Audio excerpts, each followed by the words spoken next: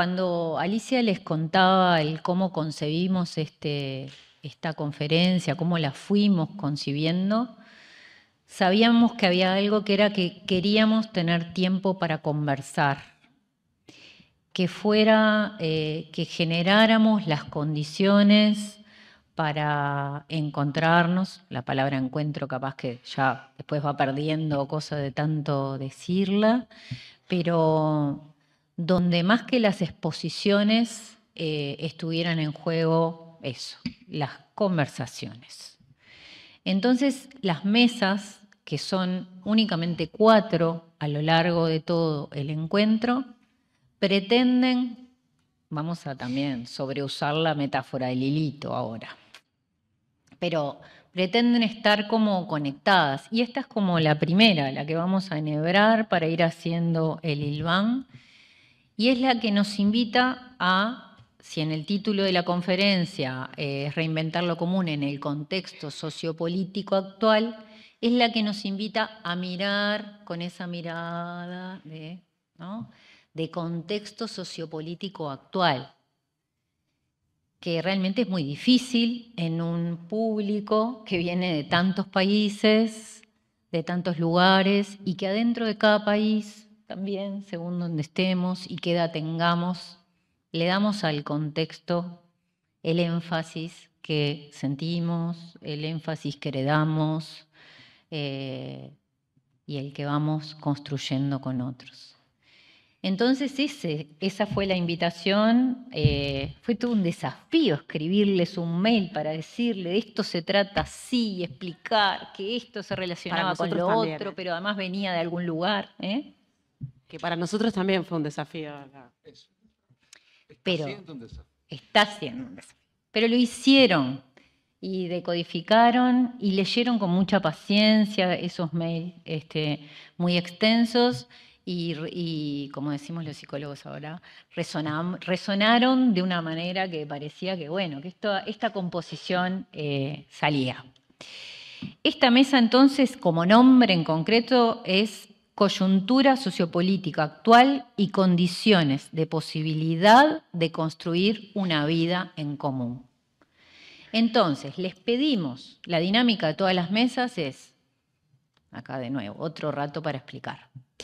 Eh, cada mesa, si la pensamos en términos de que no sea una sucesión de exposiciones, donde cada uno viene y, y habla y larga lo que, lo que tiene acumulado desde su trayectoria de investigación, desde, sus trayectorias profesionales y sus prácticas, eh, si la pensamos así, o cómo hacer para no pensarla así, para desacomodar esa idea que tenemos de mesa redonda, que además ya está desacomodada porque de redonda no tiene nada, digamos el redondo lo hacemos con ustedes, eh, dijimos, vamos a poner a rodar dos preguntas que les invitamos, las ponemos a rodar también con ustedes para armar esta mesa. Una pregunta que les formulamos fue, ¿cómo pensar nuestras sociedades actuales en sus formas de vida y organización? Así, ¿cómo pensás nuestra sociedad? Jorgelina, ¿cómo pensás?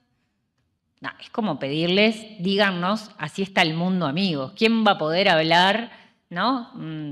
No, no sé justamente si algo que nos está pasando es que está difícil comprender, englobar, generalizar, pero ellos tomaron y cada uno va a, darle en una primera apertura, que no va a ser, va a ser de un tiempo limitado, eh, van a ir como contando sus propuestas de formas de entrarle a esto de así está el mundo. Ese es el primer momento. Después viene el momento uno y medio, en que Vemos si alguno se quedó escuchando, dijo, ah, ahora que no, Natalia, que viene corriendo de clase, pobre Natalia, porque Natalia es docente de, nunca sé, la FIC, cómo se, cuál es la sigla, Facultad de Información y Comunicación. Natalia viene de clase. Entonces, bueno, ahí cada uno va, se va a quedar como pensando en el momento uno y medio y va a ver si retoma algo, le resonó algo también o le reverberó algo. Y si a mí se me cae alguna idea y agrego algo como para relanzar la conversación, pasamos a un segundo momento, que es el de pensar en términos de si identifican reservorios, eh, conservatorios o renovatorios de lo colectivo y lo común. Esto es una, es una idea que le robé a Rubén Olivera, que va a estar en una biblioteca humana mañana, preciosa, que hablando desde la música y las identidades hablaba de los conservatorios y que ¿no? esos lugares donde se conserva, eh, que tenemos que pasar a la idea de renovatorios. Entonces, bueno, eso. Si hay, ¿En dónde hacemos pie o dónde les parece también desde el conocimiento, la práctica, las indignaciones que comparten, los asombros que comparten, como si nos ayudan a mirar alguna cosa hacia adelante. De la Costa está preocupado por los futuros, ¿no? En tu comunicación. bueno, por muchas cosas. Eh, y bueno, y Enrico les hablaba que estamos en proceso electoral y a veces uno pone en esas cosas de las democracias ciertas expectativas y los futuros se están jugando desde hace mucho tiempo y se juegan. Y acá estamos también haciendo futuro. Entonces, esas son las dos preguntas. Invita, y después en algún momento vamos a ir invitando, capaz que en el medio, en ese momento y medio, o al final abrimos a este círculo de conversación que hace a la mesa redonda, invitándoles también a escucharnos. Hay veces que todos, si nos entusiasmamos y todo anda bien, a veces queremos como hablar y, y sí, está bien, pero también como respetando, dando lugar a los tiempos de todos los demás, de todas las demás. Esa es como la invitación si viene de disfrutar este hilo, es escuchemos, seamos curiosos, curiosas, preguntemos. Así que pueden preguntar, pueden opinar, pueden... Y ta, vamos a echarla a andar. La propuesta que les hice a ellos, y nadie se quejó, fue que iba a empezar Gabriel hablando, pero me olvidé presentarlos así como, como de presentarlos. Gabriel, en los intercambios previos que tuvimos, eh, bueno, muchos lo deben de conocer en nuestro medio, es politólogo, trabajó como docente en la UDELAR, como investigador en la UDELAR, es periodista del semanario Brecha, un semanario que aquí en el Uruguay sale los viernes, lo pueden comprar las personas que vienen de afuera. Eh, y él dice alguna cosa más. Yo googleando y todo eso, algunas cosas bastante. Tenés publicaciones, libros. Eh, ahora está estudiando una maestría en ciencias ambientales en Facultad de Ciencias y trabaja en el desarrollo de una usina de ideas en la Fundación El Puente. Así que las usinas de ideas, bienvenidas. Después tenemos Jaime Alfaro, que trabaja en la Universidad de Desarrollo, de Rochás Desarrollo. De desarrollo en Chile, amigo de la casa, invitador a publicar, a pensar sobre las políticas públicas, abordando principalmente temáticas relativas a la psicología comunitaria, a las políticas públicas, y en los últimos años se estuvo juntando con españoles, brasileros, ¿no? a estudiar el bienestar subjetivo en la niñez y la adolescencia. O sea, los estados de bienestar te preocupan, te preocupa el bienestar subjetivo, el bienestar, anda por ahí. Eh, Natalia, Natalia, a Natalia también la vemos, es conocida, muy conocida en nuestro medio, en nuestros medios, en la prensa escrita, vinculada a, a la publicación a la diaria, en la televisión, es docente, es periodista, eh, y bueno, como ya les dije, es docente de la FIC. Y después otra amiga, venida desde la otra orilla, con su arreglo familiar, con su hija, con el compañero que anda por ahí, ejerciendo la corresponsabilidad en la crianza. Jorgelina es investigadora de CONICET, profesora de Psicología Social en la Facultad de Psicología de la UBA y en la Universidad Nacional de Lanús en los posgrados de salud mental comunitaria. Psicóloga de formación y también dijo que esa era parte de su deformación. Trabaja en el campo de la psicología social comunitaria, en las intersecciones de las desigualdades urbanas y de salud integral, con foco en poblaciones en situación de calle, que algo ya ¿no? nos mueve acá por el Río de la Plata y que Enrico este, contó también las cosas que nos estaban pasando por acá. Coordina un registro colaborativo de violencias hacia personas en situación de calle, junto con organizaciones sociales y comunitarias de Buenos Aires, al modo de un control popular de las fuerzas de seguridad. Y es militante feminista y popular e integra la Asamblea Popular por los Derechos de las Personas en Situación de Calle. Francisca, que anda por ahí, de seis meses, la estará escuchando, al igual que anda Camilo por ahí, andan varias hijas por estas vueltas que nos acompañan. Así que, este, como decimos nosotros, ta, van a escuchar los de afuera, ta, dejate de hablar Lucía, larguemos todo tuyo, Gabriel.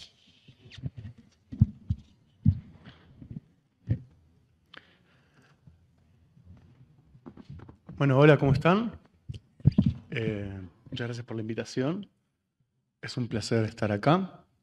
Eh, había venido muchas veces a esta sala, pero nunca de este lado, y veo que las sillas son muy cómodas. Recomiendo mucho este lugar.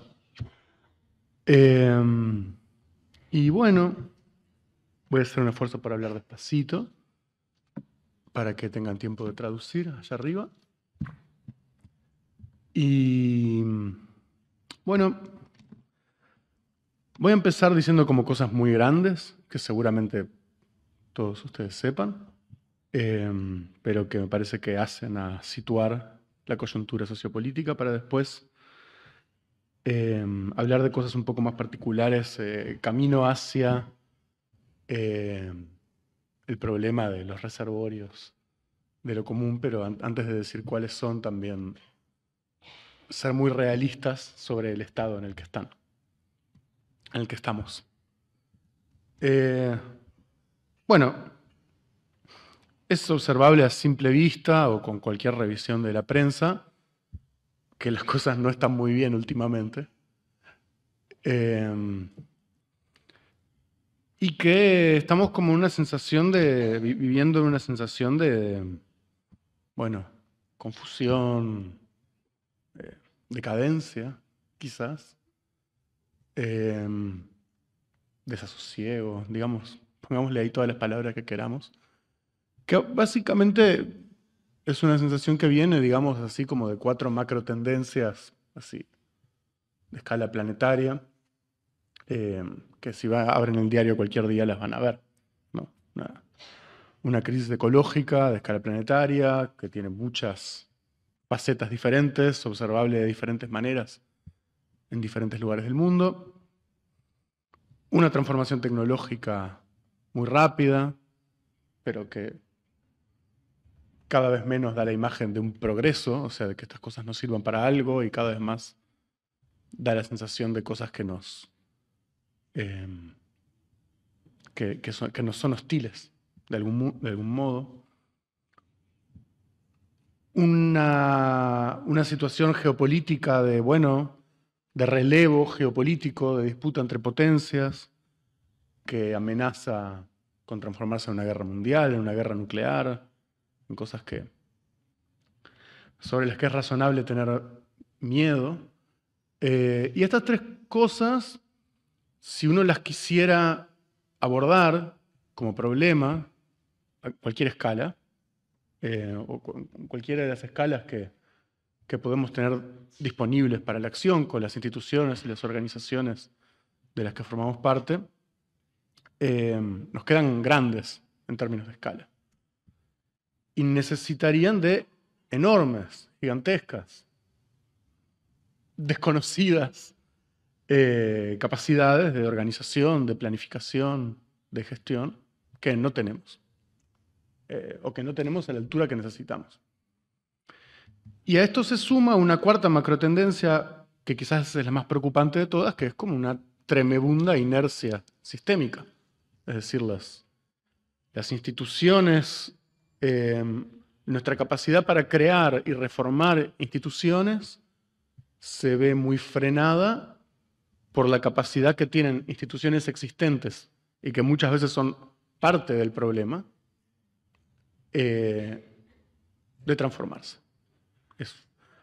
intentos no han faltado.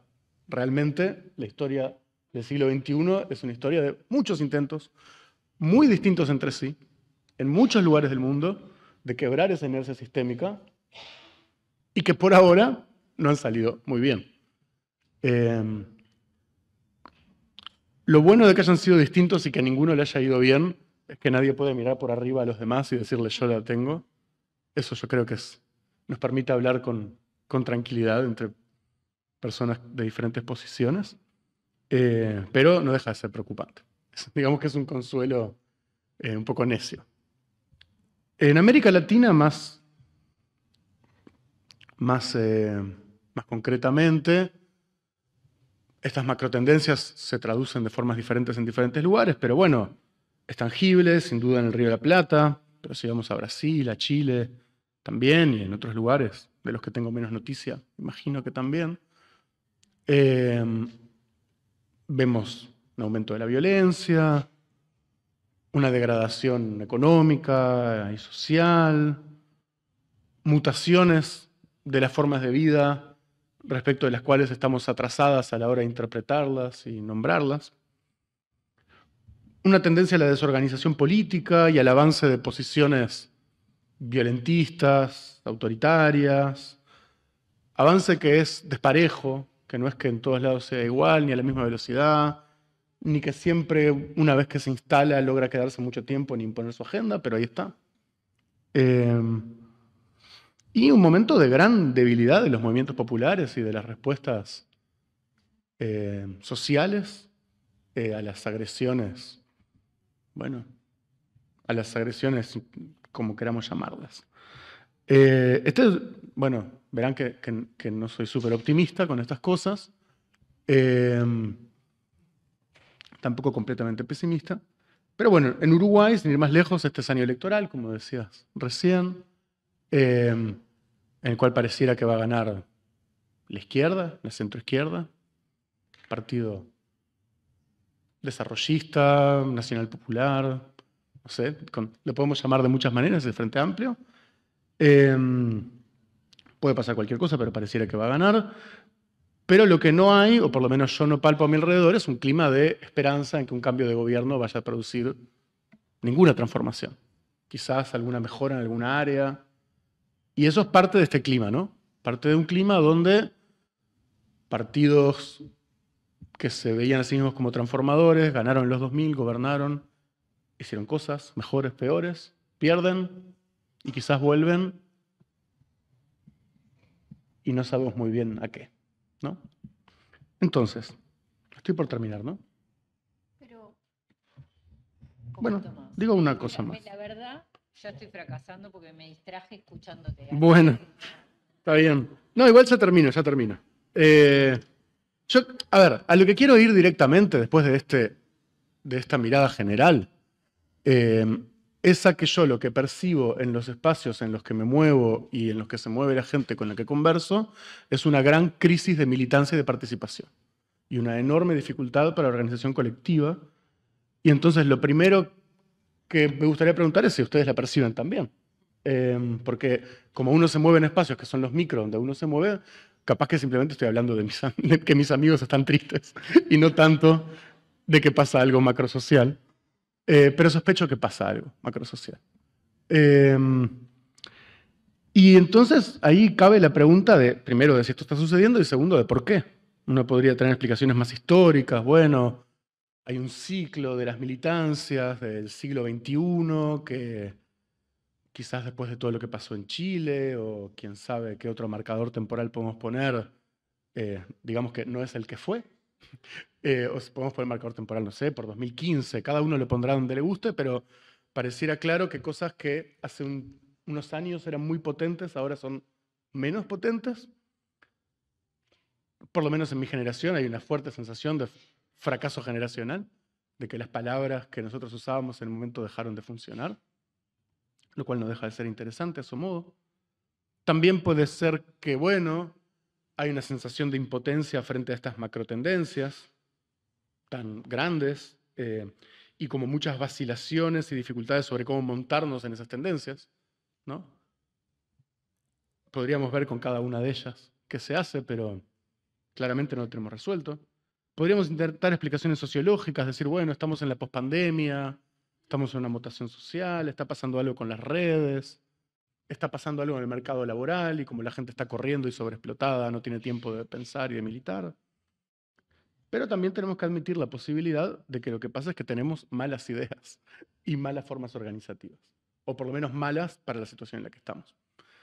Eh, sin duda el neodesarrollismo mostró sus límites, el nacionalismo popular mostró sus límites, pero también mostró sus límites el horizontalismo que se presentaba como crítico a esas dos cosas, ¿no? Em,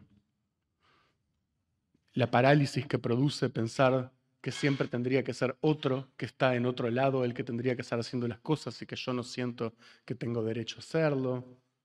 O la imposibilidad de organizarse porque cualquier forma organizativa puede ser vista como vertical, autoritaria, excesivamente disciplinaria.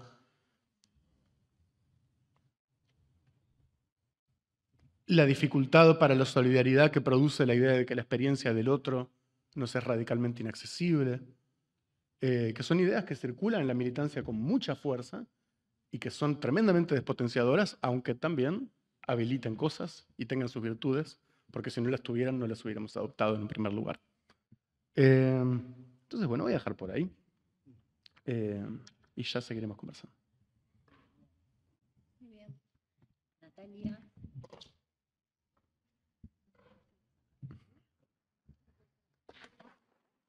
Bueno, muchas gracias.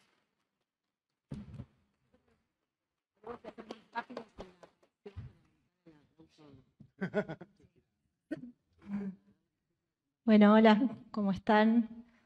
Perdón, pero voy a seguir en la línea pesimista. Voy a gastar todo el pesimismo en esta primera ronda para dejar todo el optimismo para la segunda, si me permiten. Y voy a, seguir un poco en la línea de continuidad de, Gabriel, pero focalizándome más en lo, cultural.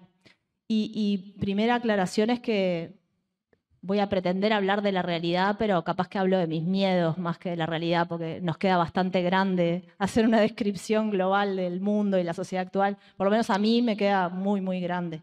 Así que capaz que hablo más bien de los miedos que tengo. Y, principalmente son dos, el, miedo a una sociedad desencantada y, el miedo a una sociedad individualista que conecta un poco con, lo que nos está pasando como sociedades, creo.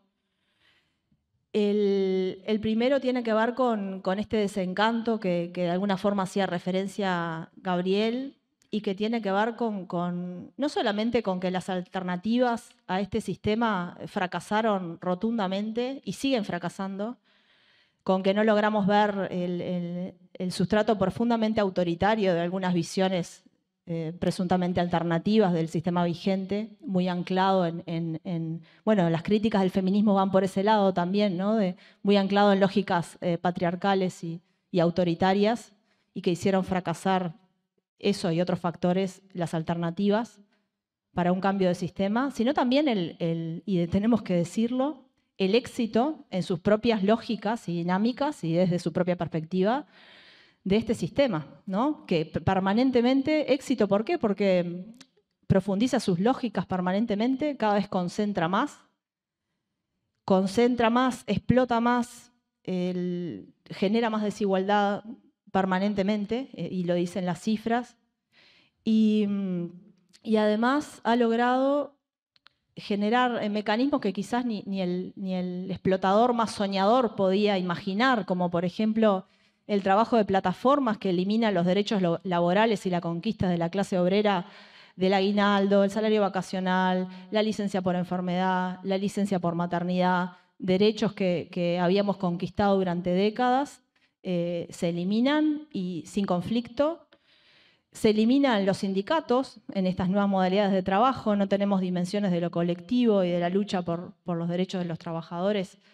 Y, todo sucede como si estuviera todo bien, digamos, como si estas modalidades nos permitieran eh, mayor libertad y, bueno, mayor acceso al trabajo. E, es decir, estas lógicas que, profundizan la explotación se presentan como, como lógicas exitosas y además ha sido exitoso, y, ahí sí, eh, yéndome un poco de lo, bueno, en términos, por ejemplo, de los medios de comunicación, ustedes saben que cada vez eh, hay mayor concentración de los medios de comunicación y que además ahora con la emergencia de las plataformas como nuevos actores, lo que está pasando es que los recursos financieros, es decir, los mecanismos publicitarios migran hacia las plataformas y lo que, gracias, y lo que lo que tenemos es que medios de comunicación tradicionales que cierran, no estoy diciendo que los medios de comunicación hagan todo bien, pero creo que, lo, que viene es peor, seguramente. Eh, tenemos más concentración, menos diversidad de voces y ahora la inteligencia artificial, que ya se está, alguna gente está diciendo que eh, eh, va a haber un futuro en el que le estemos preguntando a la inteligencia artificial que nos diga las principales noticias de hoy del Uruguay el chat GPT o su simil eh, nos esté diciendo las noticias. Todavía no hemos llegado a eso. En algunos países sí, todavía en Uruguay no, porque requiere un desarrollo local. Pero ¿dónde queda entonces? Primero, ¿quién paga eso? ¿No? Porque los medios de comunicación pagamos a trabajadores, que son los periodistas que generan información. Las plataformas se apropian del conocimiento y de la información que generamos las personas y los medios, se apropian sin pagar un peso de eso y la rentabilizan, rentabilizan ese conocimiento esa información sin pagar. Nuevamente la lógica exitosa del sistema desde sus propios marcos. ¿no? Y después tenemos también desde el punto de vista cultural la construcción de sus propios héroes, los héroes del sistema que, que van mutando. Antes el discurso y las narrativas era, bueno, eh, tenés que estudiar duro, trabajar duro o tener algún talento especial para poder ser llegar al sumum de esta sociedad que aparentemente sería ser rico y famoso, ¿no? tener mucho dinero y ser muy conocido. Y hoy fíjense que ni siquiera se, pide eso, simplemente la narrativa del sistema es, eh, sos un influencer, haces un contenido que me llama la atención, es un poco distinto, o simplemente otro influencer te dio like y te dio me gusta y, te, y interactuó contigo y eso ya te convierte en conocido y potencialmente la ilusión de que vas a ser una persona rica y famosa eh, por nada, digamos, ¿no? No, tenés ninguna habilidad especial, no, hiciste ningún esfuerzo en particular. Y, bueno, entonces la ilusión de llegar eh, a lo más alto eh, se, amplía, digamos, es más, se amplía más personas. Eso, eso por un lado. Por otro lado, y bueno, y la ausencia absoluta de narrativas emancipatorias en términos globales, eh, sistémicos, ¿no? Evidentemente sí existen narrativas emancipatorias, pero quizás muy, muy fragmentadas, muy parciales, eh, muchas veces muy ancladas en, lo identitario, pero una, la ausencia de una narrativa emancipatoria más sistémica. Y eso genera desencanto también. Eh, estoy con el pesimismo, pero yo soy optimista también. Ahora voy a, voy a hablar de por qué y dónde creo que podemos hacer pie. Pero mm, después otro elemento que quería plantear es el individualismo, que me preocupa muchísimo, se acentuó muchísimo con, con la pandemia. Esta, esta imposibilidad de, de, pensar en lógicas colectivas y muchas veces hasta de trabajar colectivamente, lo veo con mis estudiantes, que disuelven grupos porque están en desacuerdo o disuelven grupos por discrepancias mínimas, eh, no, la imposibilidad de trabajar en común, de confrontar, de, confrontar, pero poder superar los conflictos y poder acordar.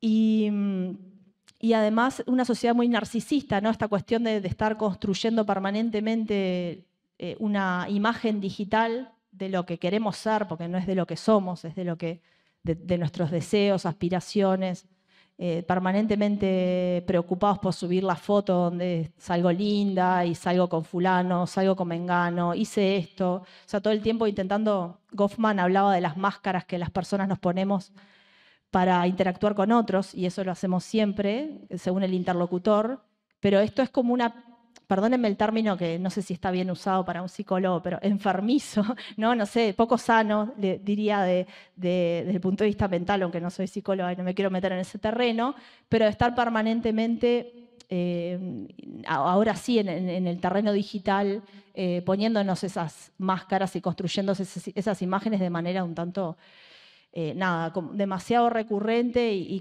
depositando como muchas expectativas y, muchas emociones en esa, construcción de, una imagen digital que, muchas, y es, que es muy individual también, ¿no?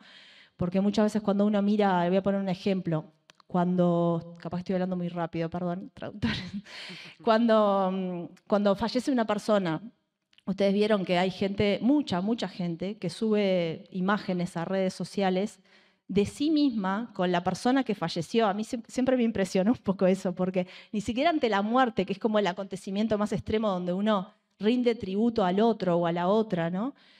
Eh, tiene que estar el yo permanentemente, ¿no? Tiene que estar a la persona ahí y, más que decir te estoy rindiendo tributo, estoy diciendo yo estuve contigo, ¿no? O sea, eh, para abonar nuevamente como la construcción de, mi yo.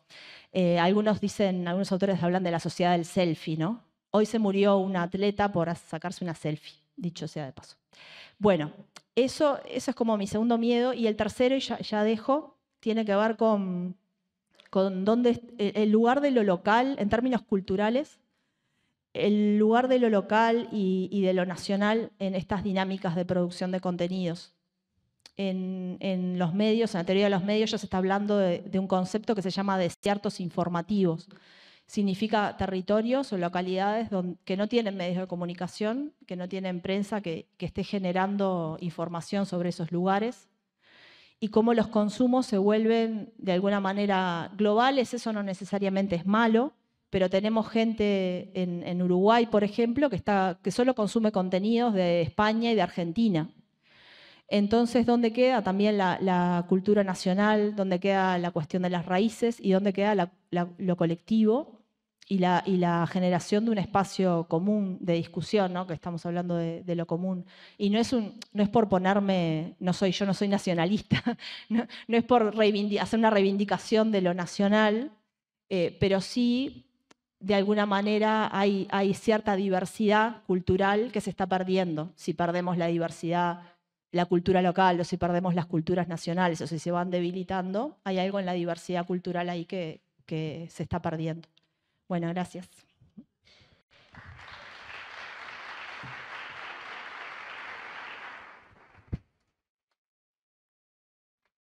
Bien, sigo yo. Sí. Habíamos hecho el acuerdo de, dijimos, vamos, Jorgelina proponía, vamos a pasar rápido uno al otro, porque así la gente corta con esa idea de que hay que aplaudir después de una exposición, porque si es una conversación, ¿no? ¿Sí? Pero ahora ya no ah, que hay que aplaudir igual. Ah, no, no. Pero bueno. Pero vas a generar un conflicto porque aplaudieron a unos y a otros no, ¿te das cuenta? O sea, ¿cómo es la historia? Para todos, claro. Suponemos que todos merecen aplauso, así que lo dejamos suspendido. Hasta, ¿O no? Lo guardamos dentro de nosotros. Y, lo dejamos. Eh, bien, es, es tan interesante este modo en que se lo acerca más. Eh, digo, eh, que es tan interesante este modo que se está planteando este debate, que así como interesante y desafiante, decíamos recién, eh, que me voy a saltar los saludos, agradecimientos y felicitaciones por la conferencia. Tengo mucho que decir al respecto. Me parece que ya algo dijeron en la, en la primera presentación de apertura. celebrar el método, la coherencia, la hilación de todos los elementos, me lo voy a saltar porque quedo prendido en la conversación, quedo prendido en la conversación y creo que eh, ese es el sentido de esto, así que eh, si tanto nos cuesta, porque sería mucho fácil tener un PPT ahí atrás y tenerlo acá impreso y podría, es el modo acostumbrado, eh, dado que nos cuesta que tenemos que entrar en otro formato, que es muy interesante, voy a tratar de sacarle provecho. Entonces me pasa con lo que he escuchado hasta ahora y voy a quizás resonar empezar a resonar, digamos, porque han habido dos presentaciones significativas, muy eh, claras, sólidas, eh, que me es inevitable resonar. Y resueno en dos sentidos, y por ahí quiero entrar, a ver si me alcanza el tiempo. Uno es que, sí, muy de acuerdo, sí, sin duda, sin duda. Estamos frente a una, tomando palabras de Chomsky, estamos ante un fallo masivo y colosal de la versión neoliberal del capitalismo. Sí, sin duda. Eso hay señales por todos lados y nos llega de, todas partes y hace mucho tiempo que esto de, regular eh, la vida social a través del mercado eh, pareciera que no está funcionando y genera una serie de consecuencias gravísimas. Que también esto de, reducir los estados y debilitarlos al máximo, hacerlo eh, casi invisible, tomando alguna, a mí me hace mucho sentido una, una metáfora, no sé, una forma de explicar que hace Joan Subirat, que dice que los estados se están desmembrando, desarticulando por arriba, por los lados y por abajo de los estados. Que por arriba todos los poderes eh, transnacionales, la, acción de las empresas transnacionales le, quitan poder y capacidad de acción. Por los lados, toda la externalización, la tercerización de servicios, eh, la desregulación de las empresas, eh, sin duda que lo deja sin poder en muchas acciones. En, Chile, compañeros chilenos, compañeras chilenas que están acá, tenemos muchos ejemplos. Eh, y también por abajo, producto de la operación, más, más lento. Y bien, eso, eso sí que me cuesta. ¿eh? sigo, la, la, operación de ciertos poderes fácticos locales, lo que a veces podríamos llamar la captura de los narcoestados. Yo me cuesta ver el narcoestado como un, un estado narco, pero sí creo que a niveles locales, ahí está bien, ahí estoy más velocidad adecuada. Eh, hay, uno también observa a nivel local, producto de, acciones de eh, crimen organizado, eh, organizaciones fuera de la ley que, están, que operan y tienen control de zonas amplias de la, de zonas comunitarias, en fin. Y también, también lo plantea el Subirat por los procesos de descentralización también hay que, también hay una señal. La descentralización opera y se genera otras acciones. Pero estoy de acuerdo, estamos ante una eh, eh, falla eh, colosal de la versión neoliberal del capitalismo que se manifiesta en esto de la regulación de la vida social a través del mercado, como asignación de recursos y distribución de satisfacción de necesidades, que eh, nos ha dañado, que se expresa en esto de una disolución y debilitamiento extremo del, del, Estado, de los Estados, y también eh, se expresa en unas devastadoras consecuencias de los procesos o las tendencias individualizantes extremas o radicales en la época. O sea, está claro cómo hemos vivimos eh, eh, nuestras experiencias cotidianas, la vida comunitaria, los lazos sociales se han debilitado. Eh, podríamos dar muchos ejemplos a propósito de hablar de los propios miedos. Yo les podría hablar de cómo mi vida ha cambiado en términos de las relaciones con la comunidad en, los años que llevo en, este, esta vuelta. cómo, cómo, cambian nuestras formas de, celebrar, de relacionarnos, cómo, cómo, cómo cambian nuestras formas de participar políticamente, sin duda, ahí hay cambios significativos. Y también, eh, ¿para qué hablar y ahondar más en cómo eh, se han acentuado los procesos de exclusión y la desigualdad? También eso, eh, todo yo creo que tenemos, podemos llenar de estadística e información respecto de eso.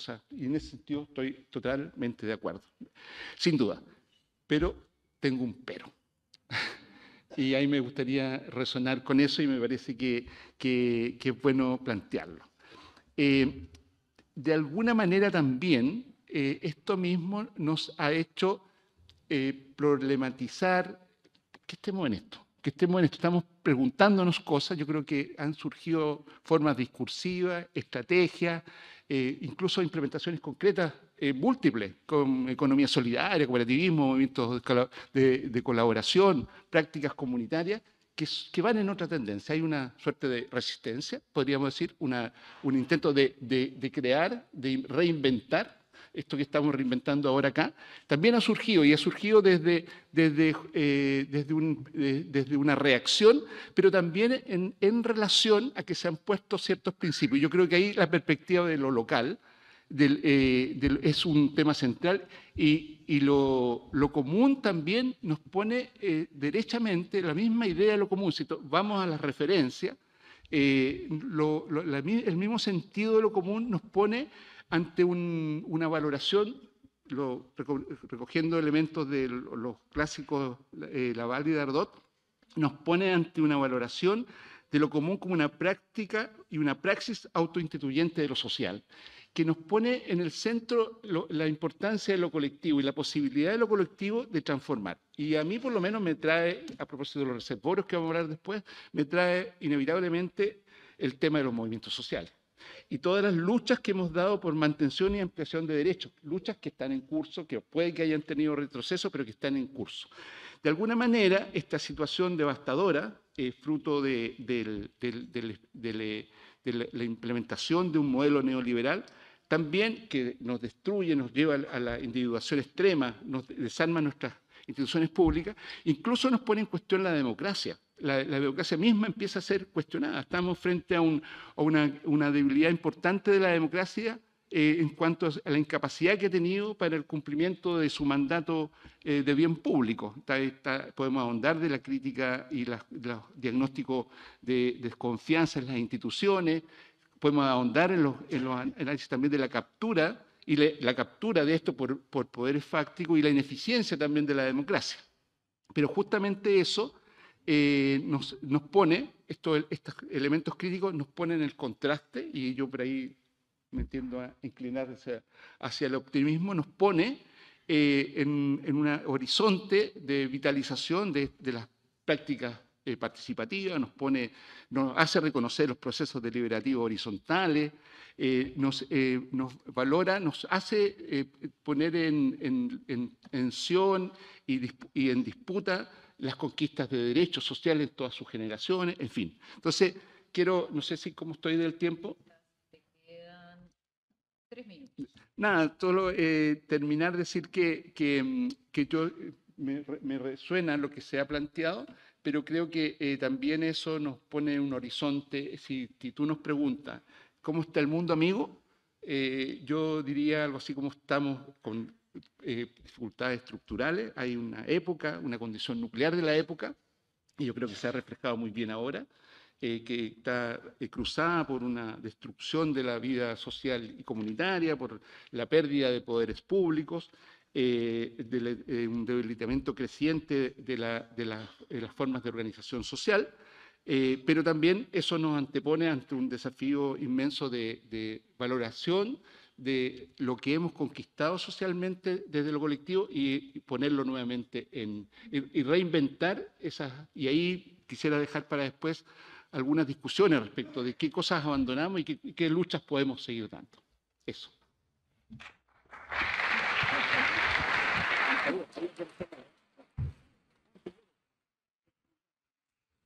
Se, se, hace difícil cambiar con la dinámica. Sí, inevitable. Se hace difícil cambiar con la dinámica no, no, porque me voy a empezar a mover y como soy un poco inquieta, voy a estar como presa del micrófono. Eh, bueno, a mí me toca lo difícil de ser la última. sí, claro, porque digo, recuperar, pero pensaba como acuerdo, ¿no? Iba a entrar por lo, último que trajo Jaime con el sí del acuerdo. O sea, no hay duda de que la etapa brutal del capitalismo en la que estamos ha generado ¿no? unas formas de reproducción de la vida y de la muerte, no necesariamente, no, no solamente de la vida, eh, atroz, en esto que no sé, que llamaríamos estas violencias más molares, ¿no? Este, que las describió muy claramente eh, Gabriel, ¿no? Cuando hablaba esta, en, esta, en esta caracterización. Y lo que a mí, digamos, lo que me pregunto en ese, en ese marco, digo, porque tiene más que ver con qué común es posible en ese escenario. Y capaz que ahí primero preguntarnos sobre la vida en común, porque dimos por obvio que, es la vida en común.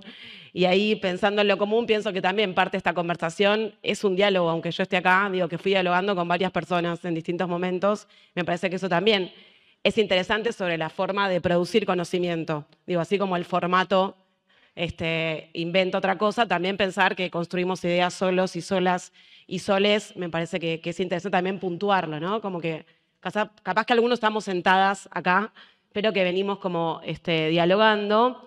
Y entonces yo me pregunto, ¿qué, digo, lo común, la vida en común es un valor, digo, ¿no? Es un proceso, es algo que pasa en la interacción, eh, es una dinámica. Que hable más lento, me dice Gabriel, gracias Gabriel, porque... ¿Para qué? Sí, ahí va. Eco. Gracias. Ahí va. Eh, digo, también es una forma de organización, ¿no? Es una forma de, estar. eh, tiene que ver con las relaciones que establecemos entre el yo, nosotros, otros, todos juntos, sin este, una, una, única palabra, este, toda junta. Y a mí me hace pensar más en un plano filosófico más que en el instrumental, digo, ¿no? Pensar ahí como esa idea del común. Y este común, por eso digo, ¿qué tipo de vida en común hay en este escenario que estaban planteando? Y para mí una primera pista tiene que ver con las políticas de las violencias. Entonces, hablamos, ya no voy a entrarle en las violencias este, estructurales o las violencias económicas, ¿no? estas violencias este, molares, dirían algunos otros autores, que profundizan esa expulsión, que profundizan la desigualdad. Digo, eh, yo retomo otra compañera que se llama Florencia Montespáez y ella habla de violencias miniaturizadas. ¿no? Digo, ¿qué pasa en esos encuentros cotidianos que no es simplemente la reproducción de una violencia más estructural, sino en esas relaciones entre los otros que hace, por ejemplo, que un vecino linche a, ¿no? a otro vecino en el mismo barrio, que hace que en nombre de la autodefensa puedas pegarle dos tiros a una persona que está en situación de calle sentado o sentada en tu vereda, que hace que haya secuestros, que haya, hace, que haya por la especulación financiera e inmobiliaria una crisis de vivienda mundial que hace que muchas personas en el mundo no tengan acceso a la vivienda o estén luchando por esa subsistencia y así un montón de formas ¿no? Este, en el cotidiano, que incluso hace que, bueno, este, no nos preguntemos o, no discutamos a veces, aunque sí creo que va a pasar este congreso, cómo se produce académicamente y quiénes somos los que estamos sentados en las mesas o quienes publicamos papers, ¿no? Digo, en esa lógica de acumulación y de reproducción de una forma. Entonces, esas violencias miniaturizadas, dice, dice Florencia, generan un montón de dinámicas en la vida cotidiana. Y a mí me parece que una, una pista también, entrando en algo de lo que, de lo que traían también este, los compañeros, tiene más que ver con pensar, bueno, eh, qué dinámicas socioafectivas genera ese escenario brutal de violencias, ese mundo que yo coincido con Natalia en el pesimismo, ¿no? Eh, y con, también con lo que traía este, también eh, Gabriel. Y ahí hay una pregunta, porque uno dice, bueno, hay linchamiento, hay violencia entre vecinos, hay más robos. No digo, no por entrar a la descripción de los policiales del diario, porque no es este, mi, tarea, ¿no? Digo, hay este, tensiones en los barrios más populares en función de economías ilegalizadas para la subsistencia, hay, ¿no? y diversas formas en cómo aparece, hay trata de personas distintas, este, pues, feminicidios eh, eh, que pasan, y, y ¿por qué no estalla?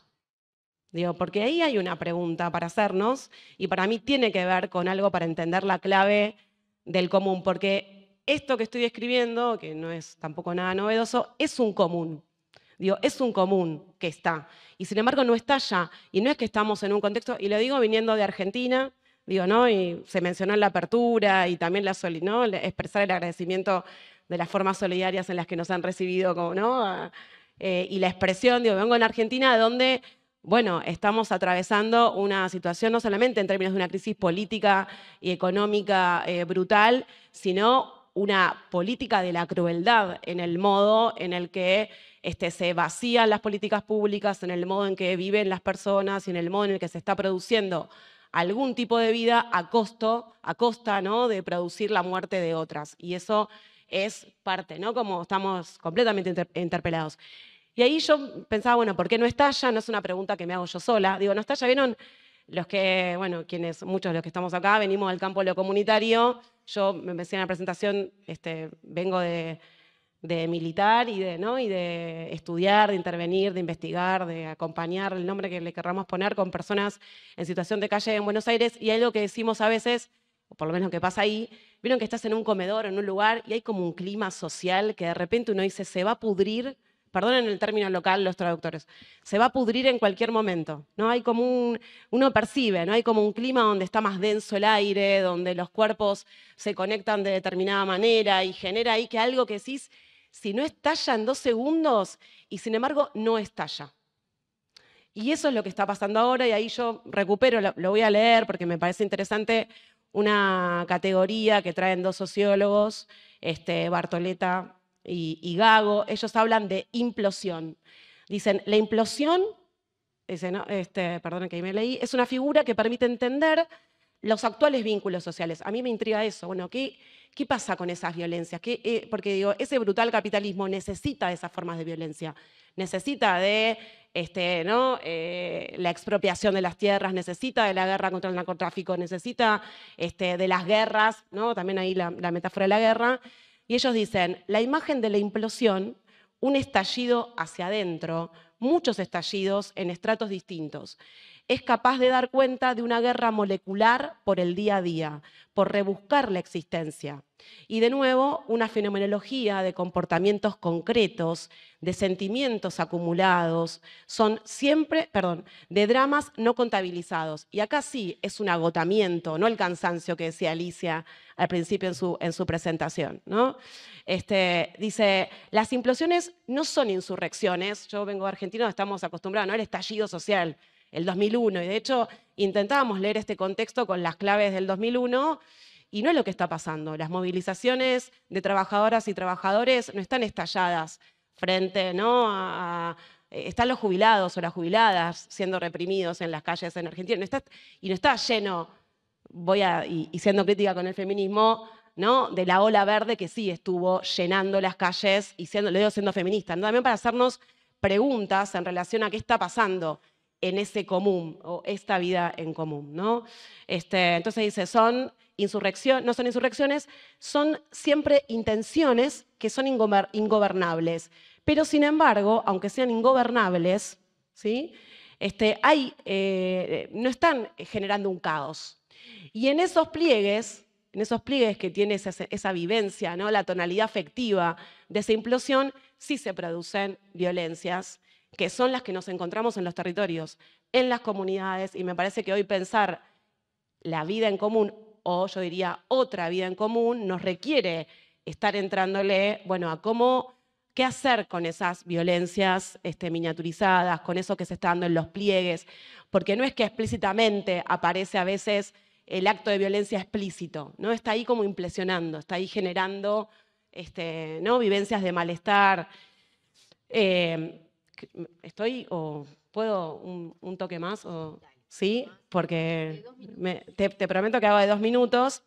Pero digo, no, solo como, eh, porque también me quedé pensando con algo que dijo Natalia de lo enfermo. Dijo, ¿no? Ella usó la idea de lo enfermo para decir, bueno, yo no, eh, me acuerdo puntualmente en relación a qué habías dicho, si era el enfermo, el uso de las redes, ahí está, está, hablando del uso de las redes sociales, pero me quedé ahí porque a mí me parece que esta forma que yo estoy trayendo de las violencias como una forma de, como una forma en la que la vida en común se expresa hoy, no es el orden de lo patológico. O sea, ¿no? Así como decimos en el patriarcado, ¿no? La violencia. Es hija sana del patriarcado. Bueno, estas violencias que estamos hablando son hijas sanas de este capitalismo este, salvaje que estamos viviendo y que necesita y que creo que es una interpelación claramente para el campo de lo comunitario, ni siquiera digo la psicología comunitaria, sino el campo este, de lo comunitario, porque cómo producimos otra vida en común cuando lo que organiza las relaciones entre las personas es la idea del otro peligroso, lo decía creo que el rector ¿no? en, la, en la apertura, hablaba de situación de calle y ese otro peligroso. El miedo como un organizador, el miedo paraliza, el miedo genera una forma, ¿no? genera que haya cuerpos que son temidos y otros cuerpos que se cuidan. Y en ese encuentro de cuidarme para cuidarme del otro, se hace bajo, ¿no? Ese cuidado se organiza en nombre de la seguridad o de la inseguridad y produce formas más violentas. En ese escenario nosotros nos estamos moviendo, ¿no? Y ahí se genera, bueno, la pregunta de qué otro común. Por eso yo digo, ¿no? Como si no hubiera una única vida en común, sino qué otro común en este común en el que nos estamos, este, en lo que nos estamos moviendo, ¿no? Además de generar asco, distancia, rechazo. Y ahí me quedo.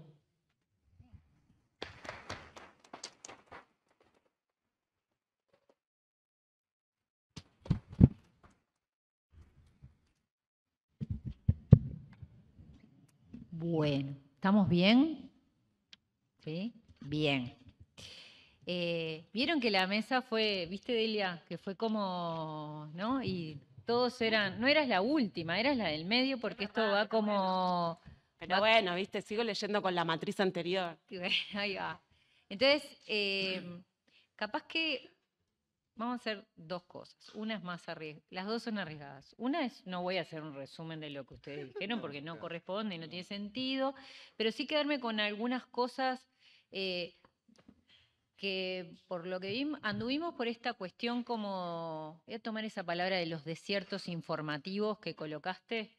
Eh, hay algo ahí que bordearon de los desiertos informativos, los desiertos de protección social, los desiertos de potencia, vos hablabas del tema del, del desencanto, de las cuestiones despotenciadoras, los desiertos de los desiertos de los desiertos, los geográficos Nada, eso, me quedé con esa idea de una primera panorámica de que todos nos cuidamos de no hacer ejercicio de la amargura, ¿no? Como, bueno, si vamos a hablar de así está el mundo, parece que lo primero que aparece es el desierto, los distintos tipos de desiertos. Y después fuimos como entrando, yo creo, como a una cosa como de mirar más finamente en esa este, panorámica y aparece, me parece, esta pregunta provocativa de la ¿por qué no estalla? ¿Es estallar lo que precisamos? Y algo de lo que Gabriel colocaba de, la escala, ¿no? De ¿dónde, dónde hacemos pie? En, lo, en miniaturizar, en lo grande, en lo chico, en definitiva, de dónde salen y dónde ubicamos esas fuerzas para montar o para remontar, digamos, como todo eso que, como decía mm, un pedagogo, este, un pedagogo brasilero, parece que el capitalismo tiene los siglos contados. ¿no? Parece que hay algo así como que ese acuerdo eh, lo tenemos. contados para atrás, contados para adelante. Pero entonces, ahora viene como esta cosa que a veces nos dicen, faltan diagnósticos, sobran diagnósticos. Ustedes siempre tienen diagnósticos, pero después, ¿qué pasa con no sé si sobran, faltan. ¿eh? Ustedes los invitaron. Ah, nosotros los invitamos. No, pero ustedes decían, ah, siempre pasa eso de que parece que sobran diagnósticos por un lado, pero por otro lado nos falta comprender, pero por otro lado... Eh, entonces, ahora hacemos la segunda ronda y capaz que no arriesgamos, a no ser que alguien diga, yo tengo como alguna cosita que quiero preguntar o... Eh, hay dos, los dos primeros que levantaron arriba, claro, no miramos arriba. Bien. Allá hay dos que levantaron la mano y que tenían una cosita para preguntar y no sé si nosotros teníamos listo. Ta. Hacemos, vamos a ahí, a entrar en calentamiento con la conversación, esas dos personas que así hicieron fuck, y después vamos como por la ronda de los reservorios y lo que nos provoque. ¿Sí? Sí, sí. Nos salteamos la 1.5 y pasamos. La 1.5 es como esto porque ya medio la hicieron, eh, yo agregué alguna cosa. Ah, vos te quedaste con. Vos, vos, serías uno que levantaría la mano. No, no, no, yo solo pregunto. ¿No? Pero. Morder. Que hablemos slow. Bien. Buenas. Gente que agarró el micrófono, que hable. Estaba muy bien. Eh, buenas. Em, Sí, con esto de que tú decías últimamente de sobran diagnósticos o faltan diagnósticos, mm, va enganchado creo que todo lo que vienen hablando. Por mi cuenta, o sea, hablo desde mi caso, yo estuve en situación de calle seis años y, mm, y a veces sí, a veces eh, no es que sobren o que falten, sino que quizás están mal dirigidos. Eh, soy consciente de que hay personas que reciben ayuda por parte del gobierno o del Estado y no la saben aprovechar. Y soy consciente de gente que sí podría eh, salir del, estado en el que está eh, con una sola eh, posibilidad. Entonces, mm, de aquí en más, ¿cómo, cómo trabajar no solo con los profesionales, porque un profesional es alguien que estudió durante años y demás, pero cómo trabajar lo que decían las compañeras allá también, eh, la, microviolencia, ¿no? Eso, eh, las cosas que están por ahí, que se pierden, que no vemos, que no sabemos, cómo llega un vecino a, dispararle a alguien porque está en situación de calle, porque no lo quiere ver más eh, ni drogándose, ni, ni, orinando en su vereda. Entonces, como empezar a trabajar lo que considero yo es que a veces se ataca el problema y no la raíz de. O sea, se ataca la solución. La solución se ataca eh, con la gente que vive en la calle poniendo un refugio. Pero no hay un trabajo previo para que no haya más gente utilizando los refugios. No hay una asistencia previa desde la infancia o no hay una, no sé si capacitación está bien dicho, pero a veces no hay como herramientas que le permitan a la persona saber que es capaz. Porque he estado en muchas situaciones, reitero, donde hay personas muy negadas y que creen que no tienen chance ni siquiera con, aunque le soluciones la vida, no tienen ganas de vivir. Y por otro lado, hay personas que a veces con una pregunta nomás que les digas, che, ¿cómo estás hoy? ¿Hoy comiste? ¿Querés un té? ¿Precisas algo? Capaz que eso ya les levanta el ánimo y salen a encarar la vida desde otro ámbito, con otra perspectiva. Entonces creo que va más que nada por ahí, como, como humanidad, no solo los profesionales que estudian años y se dedican a, sino como humanidad, hemos perdido tanto amor por el resto, porque cuando yo me violento contra un, cuando yo me violento contra un vecino que no me gusta eh, lo que está haciendo, también eh, estoy demostrando que yo no estoy preparado para. Entonces, desde ese punto de vista, creo que todos precisamos eh, el diagnóstico correcto. Gracias. Gracias a ti.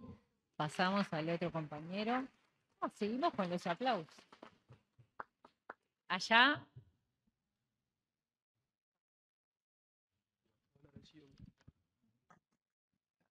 Hola, buenas, ¿cómo están? Eh, primero agradecer por lo que señalaron y quería preguntar dos aspectos. Uno... Más cerca el micrófono, capaz. Ahora sí. ¿Sí? ¿Ahora sí? ¿Sí? Bacán. Necesita ese feedback. Eh, quería preguntar dos cosas. ¿Cómo de una u otra manera podemos ver, ¿no es cierto?, eh, cuando se habla de los diagnósticos, ya si faltan o sobran, cómo podemos también, por ejemplo, profundizar eh, en la conceptualización del valor? Y cómo de una u otra manera poder entender, ¿no es cierto?, el valor no en el sentido neoliberal, sino que tensionar esa conceptualización del valor. Porque, por ejemplo, me hace mucho sentido eh, cuando se señala este, el del valor de la individualidad, ¿no es cierto? Que de una u otra manera igual puede injerenciar en que vaya y le dispara al otro porque está usando algo que, que es valorable para mí. Y por otra parte también cuestionar el valor, ¿no es cierto?, en la construcción del sujeto neoliberal, entendiendo este valor como ciudadanos de primera, segunda y tercera categoría y si existen también, o si podemos ver algunos puntos de fuga respecto a esta idea como de la necesidad y de la falsa necesidad, en el sentido como lo conversó ahí la compañera de la izquierda, en que, claro, uno tiene un like, la necesidad, por ejemplo, como esta falsa necesidad de la atención, ¿no es cierto?, como desde esos aspectos, y tomando, por ejemplo, lo que dice Marcus, la, observar esta falsa necesidad no como una necesidad que no existe, sino como una falsa necesidad en el sentido que para alcanzarla eh, se vuelve nocivo ese proceso para alcanzarla. ¿sí? Por ejemplo, no sé, yo soy chileno y no sé cómo será en otras partes, pero ya eh, esta necesidad, por ejemplo, de tener un estatus, ¿no es cierto?, también lleva como a conductas que dañan a los demás. Entonces, como quería preguntar eso más bien si visualizan algunos puntos de fuga, ¿no es cierto?, o las tensiones o barreras para volver a reconceptualizar el valor, ¿sí? Entendiendo que de una u otra manera socialmente el valor es un punto central. Eso quería señalar. Muy bien, muchas gracias. Seguimos, a ver, líneas de fuga, este, eh, bueno, yo te veo, sí. no, porque, porque eh, a mí, y pienso como algo en, en, función de las intervenciones, de las dos intervenciones, eh, que el punto, no sé si yo lo transmití así, es que la violencia atraviesa todo, o sea, todos los cuerpos en todo el tiempo, o sea, es como, es producto de lo que está pasando. Entonces, la pregunta no es cómo hacemos para ser menos violentos. O sea, yo creo que esa no es la pregunta. Porque digo, si estamos eh, describiendo un escenario en el cual lo que hay es una brutal eh, expropiación, ¿no? Digamos, hablaron de la crisis ecológica.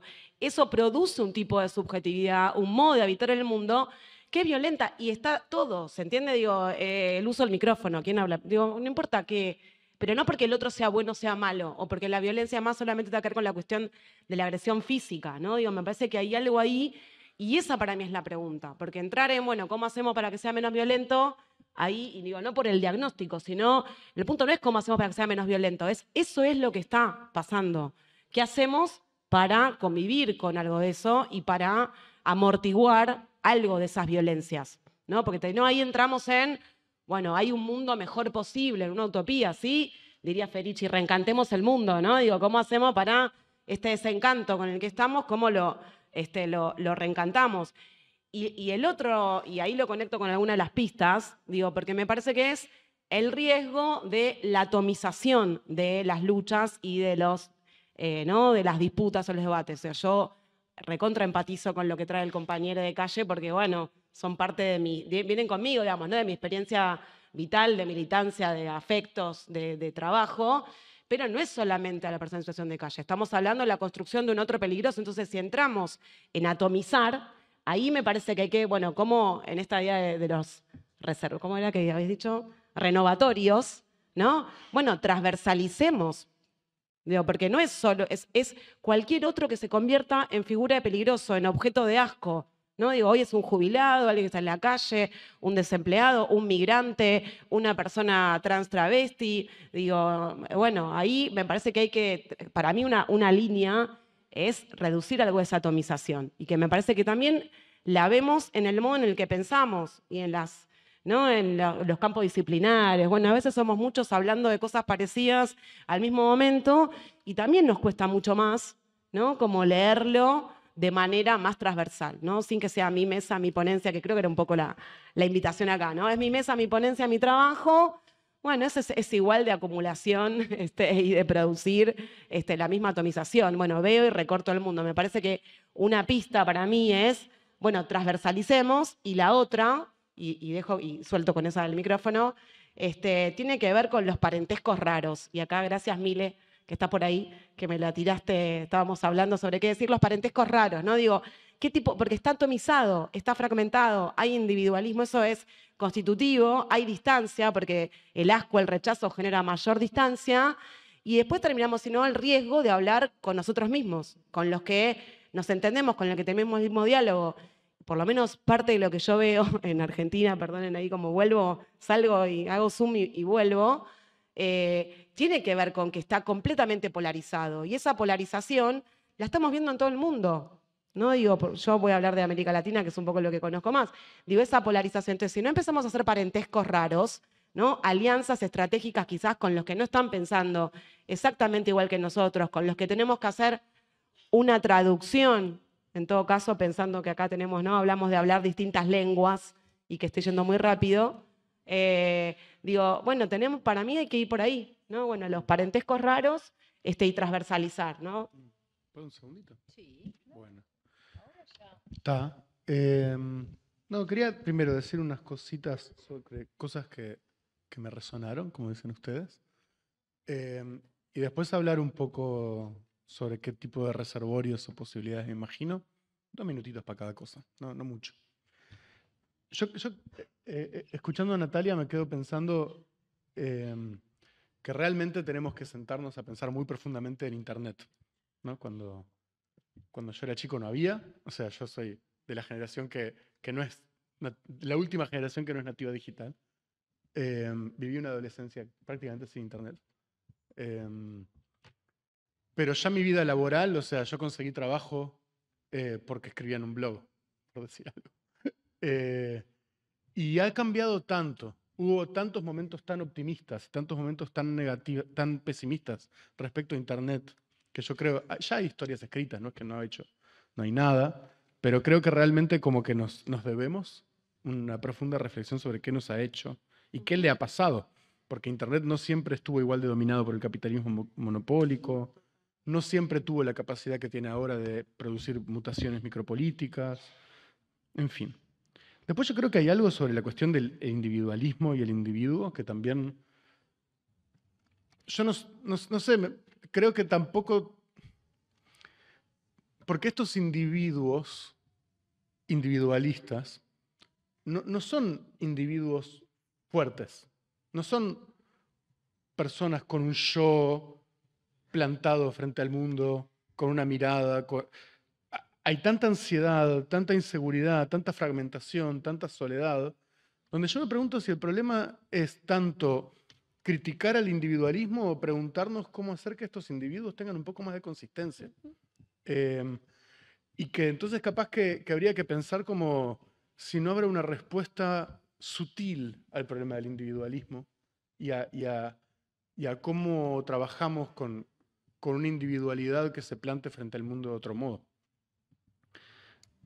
También con la cuestión de lo comunitario, ¿no? Porque, o sea, yo, así, políticamente, ideológicamente, tengo una, una, gran simpatía y solidaridad con todo lo que se puede decir de lo comunitario, y sin embargo veo em, que, las formas como lo haremos pensar, o por lo menos en la práctica militante que yo veo a mi alrededor, hay enormes problemas cuando pensamos desde ese lugar. Esto que yo mencionaba recién, esta idea de nunca soy yo el que puede hacer porque siempre hay otro más legítimo y más auténtico en otro territorio, de que el otro es completamente ininteligible para mí, entonces mejor que yo me quede en mi lugar y no joda, la idea de que toda organización es potencialmente autoritaria, entonces mejor que sea siempre una ronda donde nunca se decide nada y siempre se sigue conversando.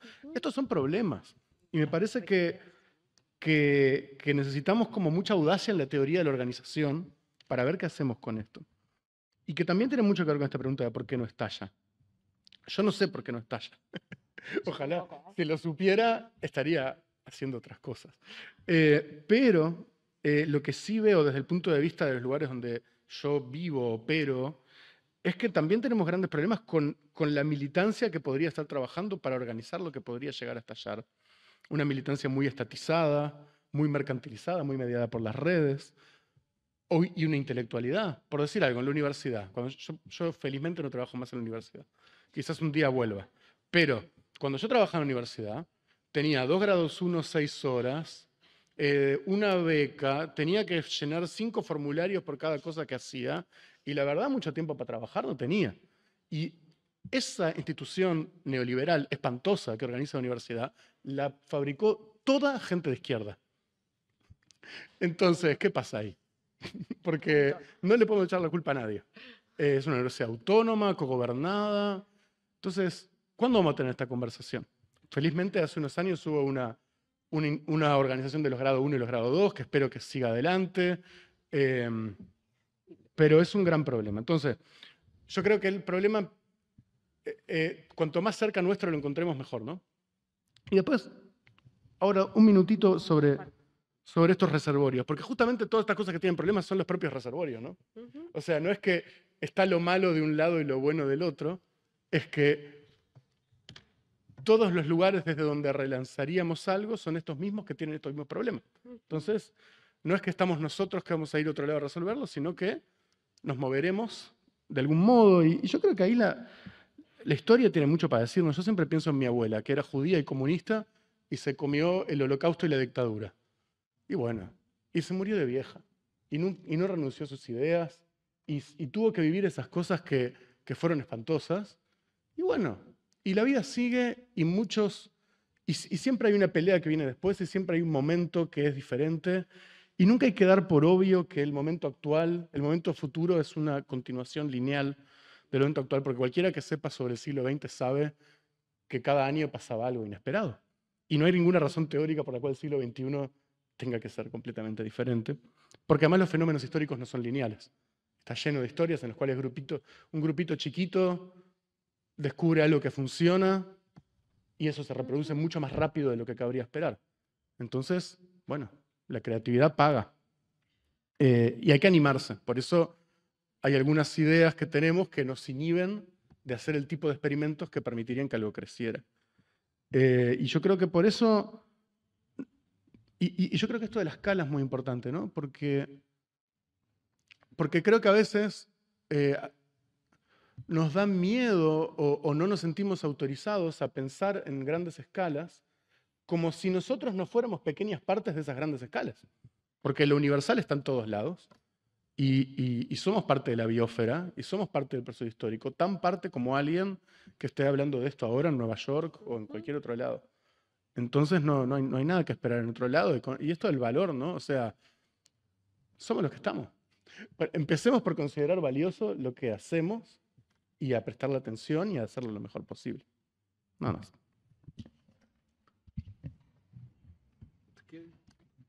Nada podemos esperar si no es de nosotros mismos. Esto es una, el nada podemos esperar si no es de nosotros mismos. Sí. La religión laica del Uruguay. bueno, la, religión laica del Uruguay, pero eso es Artigas, sí, claro, ¿no? Claro, claro, Pero es. No, termina en la garracha rusa. No, por favor. bueno, nada, me da gracia porque tanto Gabriel, sin habernos coordinado, porque no coordinamos mucha cosa, eh, tanto Gabriel como Jorgelina hicieron referencia a la academia y yo quería empezar por ahí, que no es lo más importante, capaz que es lo más cercano. Eh, en mi caso, y, claramente coincido con Gabriel que, miremos la academia, ¿no? Estamos pensando, bueno, estamos pensando ahora sí reservorios y ya, me pongo optimista, pero un último grado de pesimismo. Si uno mira el, sistema que tenemos, ¿no? De, bueno, dentro de nuestra universidad, un sistema eh, muy marcado por el papeleo, por los papeles, por los méritos, que los méritos de, dudosa digamos, eh, muy discutibles, ¿no? Como por ejemplo el mérito máximo es eh, publicar en una revista arbitrada y preferentemente en idioma inglés. Eh, en, qué lugar de la universidad se premia generar conocimiento que beneficie a la sociedad, generar interacción con la sociedad? Hay, digamos, es un mérito, pero si uno lo mira hasta lo cuantifica en los llamados, es muy menor el mérito de de estar en vínculo y en interacción con la sociedad, que es a las que nos debemos, bueno, esto, esto es parte de eso, ¿no? Pero es a la que nos debemos y en el caso de Uruguay es la que paga nuestra formación, además, además de pagarnos nuestros sueldos. Entonces, eh, está, deberíamos rever todo el sistema radicalmente, me, parece, y en línea con lo, que dice Gabriel, eh, porque hay un sistema, una trayectoria institucional, un sistema de méritos y reconocimientos que está condicionando determinado tipo de conocimiento, de producción de conocimiento. Y ser más transdisciplinares y, más imaginativos, que nos habiliten a, imaginar más, a, cuestionar eh, los órdenes establecidos y, que la imaginación pague también, ¿no? Porque hoy en la universidad medio que no paga. Lo que paga es citar a, alguien que ya dijo algo. Em, en, la academia en general, ¿no? Y eso por un lado. Por otro lado, yo creo que en términos de optimismo, yo creo que, hay muchísimo para aprender de muchos colectivos y organizaciones. ¿no? E, empiezo por el movimiento feminista. Eh, todo lo que tenemos que aprender del movimiento feminista, la revolución pacífica más exitosa de la historia de la humanidad, eh, es impresionante, o sea, en términos organizativos, con los, con los problemas que mencionaba Gabriel eh, sobre, y toda la discusión sobre la horizontalidad, sin duda, pero en términos organizativos, en términos de incidencia, de persuasión, el feminismo llegó a lugares que, la izquierda tradicional eh, no puede llegar, ¿no? llegó a lugares que trascienden, eh, muchas veces eh, que, abarcan ideologías muy diversas, y llegó con, un mensaje, y llegó con un concepto, y llegó con ideas que hoy permean, por lo menos en Uruguay, de manera mayoritaria en la sociedad, y eso es un terrible logro, un terrible logro. Eh, así que sí, un aplauso merece eso, ¿no? Em, como, no es lineal la historia, como decía Gabriel, nunca hay que dar por sentado nada. Estamos viendo lo que está pasando en Argentina, que es horrible. Eh, ¿Por qué no estalla? Siempre es algo que hablo con amigos argentinos y amigas y, y nadie tiene una respuesta.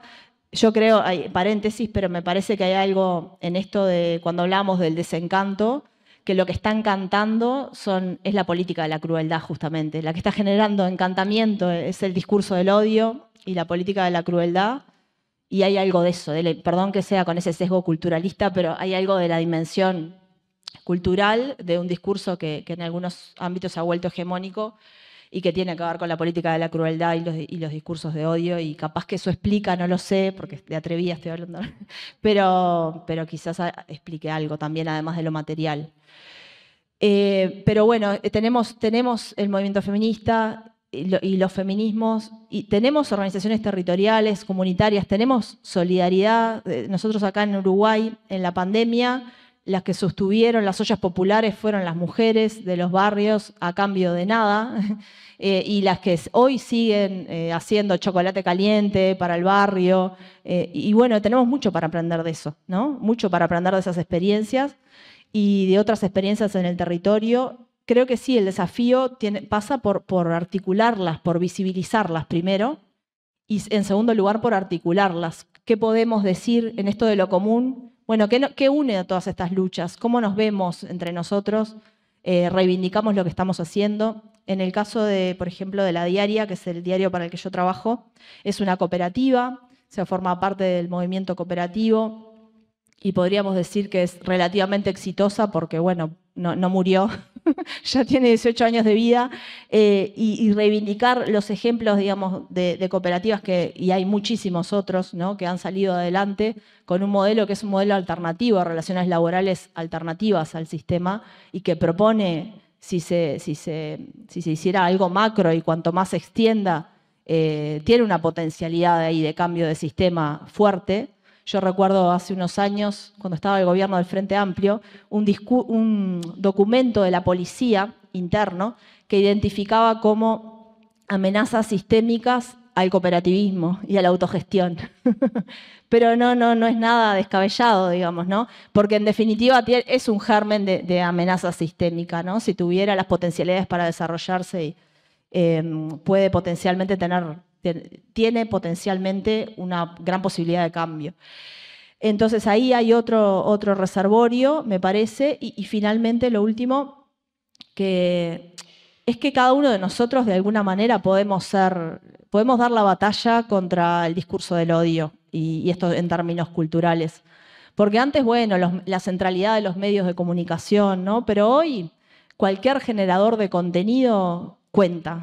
y todos nosotros somos generadores de contenidos en redes sociales y a veces preferimos mantenernos al margen porque es más cómodo o, hacer un consumo irónico y reírnos, mira qué pavada este programa, mira qué pavada este discurso de políticos, jaja, y nos quedamos al margen. Bueno, demos la batalla, salgamos a disputar, y no en los márgenes, en la centralidad disputar en la centralidad de, los debates públicos y estar ahí con nuestra voz batallando contra los enemigos de lo común, que los enemigos de lo común son, los que propugnan los discursos de odio, son los que generan la política de la crueldad, los tenemos hasta identificados ya. Eh, bueno, combatámoslos, combatámoslos, no, seamos cómplices, digamos, de esos, de esos discursos. Me parece que ahí también hay bastante para, para pelear.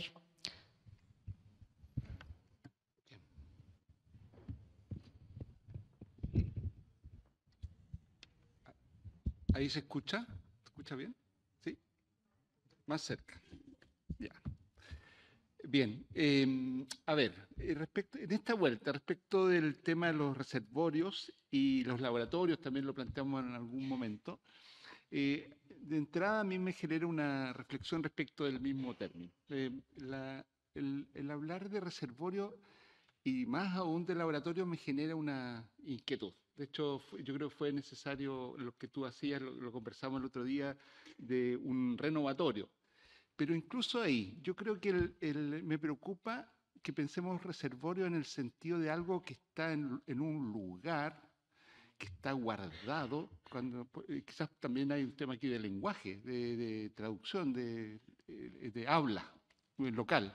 Pero eh, yo tiendo a pensar en el reservorio de algo donde están guardadas cosas y valiosas y están ordenadas y estructuradas. Em, y, lo que yo me imagino que necesitamos para, enfrentar esto, esta crisis epocal que ya compartíamos delante, eh, yo creo que es algo más que solo un elemento guardado y reservado.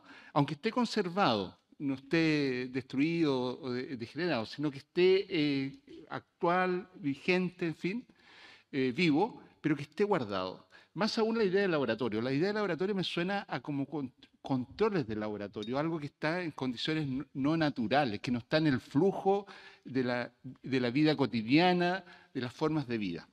Entonces, tomando esa reserva, yo pensaría que debemos plantearnos como reservorio eh, justamente aquellos que estén en, la, trama social, en, el desarrollo social, ahí lo que eh, planteaba Natalia me parece sumamente interesante, los, movimientos solidarios, cooperativos, de colaboración y los que otros que hemos nombrado me parecen sumamente interesantes como procesos que están desarrollándose en forma eh, de autoinstituidos de alguna manera, generados desde las propias praxis, eh, me parece que por ahí va. También me hace mucho sentido lo que eh, decía Jorgelina respecto de, cuidar la, atomización, la fragmentación y la idea de transversalizar, transversalizar como un, no solo como una preocupación, sino también como un objetivo. Yo me imagino que estos reservorios, entendiéndolos como decíamos, que van a que nos dan posibilidades, nos dan horizonte para, de futuro, tienen que ser eh, prácticas eh, que están situadas en el, acontecer histórico y que de alguna manera refieren a universales. La idea de atomizar y, particularizar es, a mi juicio, riesgoso. Yo, eh, podemos discutirlo con compañeros chilenos, compañeras chilenas, porque yo creo que ahí hay ciertos, ciertos riesgos también que hay que cuidar.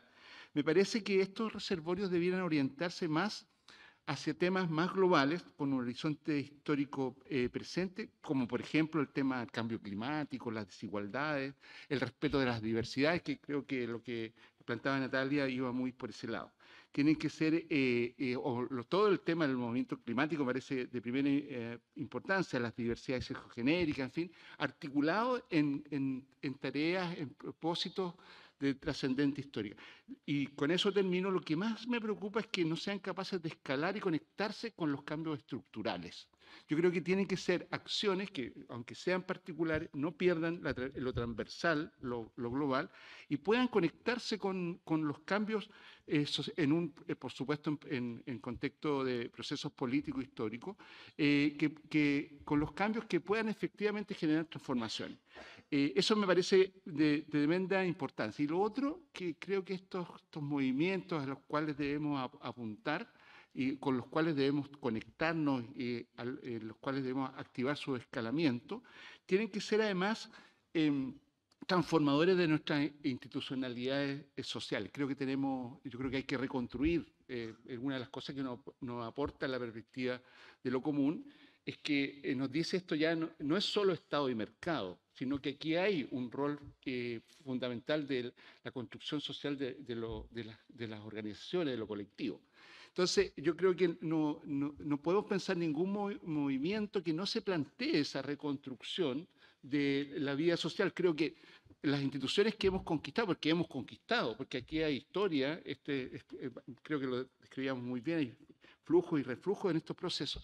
Hay instituciones que eh, tienen relevancia, que están dañadas, están capturadas, están, eh, se han perdido y que hay que reconstruirlas, hay que trabajar en ellas. Entonces, porque uno podría abandonar eso. Y de hecho el debate de, lo común tiene esa tendencia y creo que hay que plantearse eso ante ese, esa disyuntiva. Y creo que el, tema de estos movimientos, además de, articularse como movimiento en torno a temas transversales y conectarse con luchas sociales en lógica de escalamiento, tienen que además plantearse reconstitución, regeneración, renovación, transformación de instituciones sociales y sobre todo aquellas que nos permitan sostener y ampliar derechos. Creo que el tema de los derechos es un horizonte histórico que no podemos abandonar y que tiene que ser parte de... Este es quizás el principal eh, reservorio que tenemos.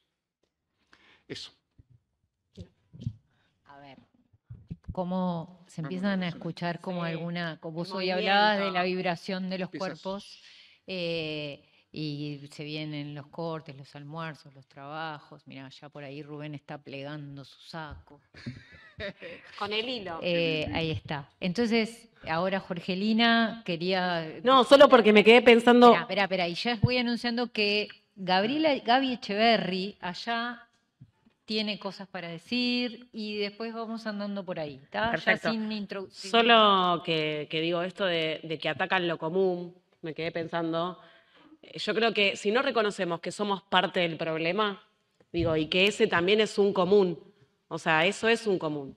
¿No? Digo, me, me, tomó, digamos, ¿no? Producen un común y somos parte del problema. Somos parte del problema que hoy eh, en Argentina los libertarios hayan ganado, que la militancia ¿no? no haya podido encontrar otra forma para. Somos parte del problema eh, en la violencia que reproducimos cotidianamente. Digo, somos parte del problema en la universidad cuando, bueno, eh, ponemos más énfasis en el paper que en el otro. Digo, me parece que yo apuesto también ahí a lo micropolítico y, me parece que ahí tenemos que pensar que somos parte de ese problema. Si no queda por fuera, ¿no? Como los otros atacan un, eh, ¿no? Y, bueno, están encantados con una política de la crueldad en el mundo, porque bueno, hay un otros que también está ahí haciendo, generando o no haciendo, ¿no? Me parece ahí como, en todo caso, para dejar abierto ese hilo para las mesas que vienen, ¿no? Como lo dejo ahí picando, la tiro. Que de hecho ya entramos en la mesa número 4 por todos lados. Gaby Echeverry, ah, yo este, estoy encantada, la verdad, con esta mesa. Les agradezco pila estar acá. Este, en particular me siento muy cercana de las perspectivas que ha planteado Jorgelina. Si bien no trabajo en esos temas, me, nada, sentí como una compañera ahí hablando. Como, bueno, a Gabriel ya lo conozco, a Natalia también, a Jaime no, no, lo conocía. Este, bueno, nada, cuatro, cuatro, cositas nomás chiquitas como en términos de resonancias, ¿no? Una que me parece que mm, me permito discrepar con esa idea de Chomsky de que, de que, de que el, soy un poco atrevida, este, de que el neoliberalismo ha fracasado. Para mí no ha fracasado nada. O sea, para mí el, el neoliberalismo está acá campante entre nosotros, entre nosotras, este, acomodándose a estas nuevas formas, incluso secuestrando la idea de lo común para hacerla propia y entonces dejándonos a nosotros como en falsa escuadra. ¿no? Entonces, eh, eh, disculpas, Natalia, que voy a hacer una cita, porque yo estoy en la academia, entonces la cita es importante. Nada, porque me acordé de una cosa que decía Spinoza, eh, cuando Gabriel hablaba me acordé de algo espinociano que decía, ¿por qué los pueblos luchan por su esclavitud como si lucharan por su salvación? Porque me parece que el problema, uno de los problemas que tenemos es que amamos este modo del capitalismo. Entonces me parece que eso, si nosotros no nos damos cuenta cuánto nos compone y lo amamos, este, vamos a estar un poco en el horno, por decirlo así como medio rápido. ¿no? Después lo otro que me quedé pensando es que eh, aún en los desiertos hay modos de existencia. ¿no? Porque yo me quedé pensando, qué suerte que hay lugares donde hay desiertos, ¿no? Porque pensaba, bueno, capaz que son los desiertos los que hay que hacer proliferar, ¿no? En este mundo así tan, como decía Jaime hoy, lleno de vértigo y de rapidez y de cosas, me parece que el desierto es como una pausa, no sé bien cómo pensarlo, pero me venía un poco esa idea del desierto como un lugar posible. Y después, por último, también me quedé pensando en esto, cuáles modos, claro, me quedé muy tomada y tocada por lo de la academia que están planteando ahora por último, porque claro, porque yo vivo un poco en la academia y, claro, me parece que tenemos tremendo desafío, primero de, de, seguir interrogando la posición con la que, en la que nos encontramos y en la que producimos relaciones sociales, eso por un lado, porque creo que el lugar del experto muchas veces se sigue jugando cuando nosotros creemos que tenemos la potestad de decirle a los demás cuáles serían los modos de vida adecuados para los demás. Me parece que eso es un atrevimiento de nuestra parte. Y entonces pienso, bueno, en la academia y en otros espacios, espacios de organizaciones sociales, de dirigencias políticas, etcétera, cómo este, mantener algunas microsublevaciones, ¿no? Porque Natalia decía, bueno, hay que, hay que ir a las centralidades, no pelear, batallar en las centralidades. Y yo pensaba, bueno, en las centralidades y en los márgenes también, porque si no, también nos colocamos medio como dicotómicamente, como que es acá o es acá. Y para mí que son las sublevaciones, hay que hacerlas corretear por todos lados, porque si no, este, me parece que ahí perdemos, ¿no? Eh, nada, ¿qué conocimiento para qué mundo? ¿Qué común para qué mundo? Me parece que esa pregunta es importante. No sé, esas son mis resonancias. Las compañeras allá tienen la mano levantada. También invitarles, no sé cómo van los angloparlantes y angloescuchantes, si gente de otras latitudes, de otros sures, cómo, cómo venimos, si acompañan, si resuenan. Y por allá vamos los nombro para invitarles. ¿Allá? Sí, ah. No, yo vengo de la Patagonia, del sur, de la Patagonia Argentina, Eh, entiendo y comparto algunas de las cuestiones que han planteado en el panel, pero no puedo dejar de ser optimista de que estemos en este encuentro con estos ejes temáticos eh, y por ahí sostener algunas preguntas abiertas, no tratar de rápidamente cerrar, sino quizás sostener la pregunta es lo que tenemos que hacer estos cuatro días. Y algunas claves que hemos aprendido en pandemia de compañeras y compañeras trabajadores de salud y de, las universidades fue la necesidad de articular con los territorios y con toda esa pluralidad de, otros actores y actrices que estaban ahí y que por ahí no tienen los tiempos que tenemos acá de pensar y de, pero que el diálogo con ellos nos dan algunas claves y algunas urgencias desde las cuales trabajar. Creo que hoy en el primer bloque también planteaban los interrogantes de este encuentro y me parece súper potente desde la reconversión de la academia en términos de cómo producimos conocimiento, para qué, cómo generamos metodologías participativas eh, y la posición ética y política desde la cual queremos trabajar. Así que a mí lo que me parece alucinante es que podamos en la Intendencia de, de Montevideo, en el marco de un congreso, dejar abiertas estas preguntas el primer día, eh, que, no apurarnos a, cerrar, sino por lo menos permitirnos sostener eh, y cierto optimismo es necesario. Sino, entonces, bueno, en eso me parece que haya estudiantes de carreras y no solo de carreras de salud que estén participando y acompañando, creo que es súper potente. Así que nada, ese era mi aporte.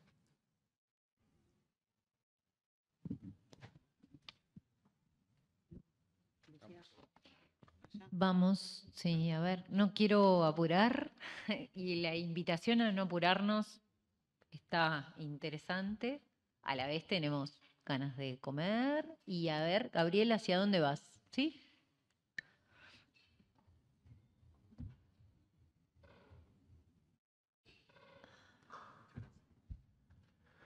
Ah, hola.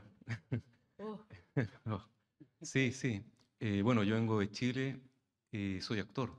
Vengo con prácticas de participación comunitaria a través del canto, de la presencia, del silencio, del estar. Más cerca del micrófono. Más cerca del micrófono. Ahí, ya. Vengo de Chile y vengo a compartir experiencias comunitarias con... Yo soy actor, había nombrado antes. Y con respecto al canto, al silencio, a la escucha, a la resonancia. Y por ahí, claro, escucharles y agradecer también estar acá eh, me viene una palabra de la desesperanza, ¿no? Eh, sí que tiene un libro al respecto sobre la, la, desesperanza, en el sentido de en realidad no hay mucho más que esperar, sino que tal vez estar en el presente y observar qué es lo que está ocurriendo, como con una baja de, de la expectativa, ¿no? una baja de respirar este momento Mm, por ahí escuchaba a mis compañeros que son eh, allá en Chile. Chile murió luego del rechazo de la constitución. Eh, murió, murió. Estamos como caminando ese sendero, ¿no? Como el desierto, pero también están los desiertos de amor, ¿no? También dice Zurita, eh, poeta chileno, ¿no? Donde el desierto no siempre parece, ¿no? Parece que nada ocurre, un poco estático, como que no lloviera, pero hay humedad en algún lugar, hay sombra también, ¿no? Hay frío en la noche, etc. Pero estamos, al menos digo personalmente, veo acá a mi compañera como mueve la cabeza también, como em, Chile murió luego de eso. la pregunta también, quizás al compañero chileno que está ahí, eh, ¿cómo, ¿cómo, lo ve? Yo me psicoterapeo hace muchos años, me encanta, así como es parte de mi, de mi práctica artística también, lo dialogo permanentemente, sobre un país tan golpeado por la cultura de la impunidad, donde no hemos visto, voy quizás juzgar a nuestros eh, dictadores, ¿no? Y hoy en día, luego del rechazo de la constitución que nos hizo soñar, ¿no? El año 2019 y ya pasaron dos años de la, votación, em, en esa desesperanza, el tránsito que, que necesitamos, porque estamos golpeados, golpeadas, golpeadas, estamos como, puff, Imagino nuestros compañeros de, la Argentina, que lo observamos con mucha atención, que realmente es, demoledor lo que acontece ahí, demoledor. Y luego, nada, estar en este lugar aquí y, a puertas de, las votaciones, o sea, está todo efervesciendo. Y eso por una parte es muy rico porque hay que tener mucha atención. Por otro lado, hay que también conocer de la historia, el pasado reciente y cómo nos sentimos también. En eso somos parte, estoy muy de acuerdo, somos parte del problema, así como parte de la posible camino, por no decir una solución. No hay solo una, los posibles caminos a tomar. Y tal vez, y con esto cierro, es como hay reducto como este, ¿no? Puede ser eh, pequeño, donde nos reunamos a, a conversar y dar el tiempo, porque casi revolucionario, de frente a la aceleración parar y miro las sillas ¿no? que ponen ahí. La silla como el lugar de depositar mi peso y... Ah, y ahora, nada, agradecer y ese un poco la resonancia, un poco en corto y nada, eso.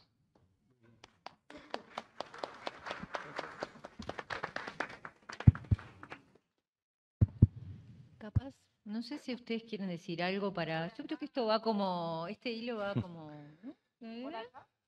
Lucía, acá arriba también estamos. Ah, ah,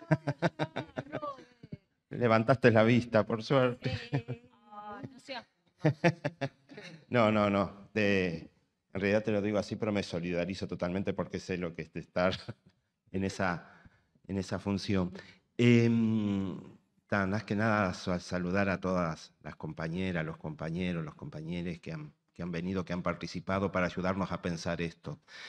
Em, a mí me quedó resonando algo que, y, por eso pedí la palabra ahora, algo que, planteaba sobre todo Jorgelina de forma muy provocativa, que tiene que ver con esto del estallido y las preguntas hacernos, ¿no?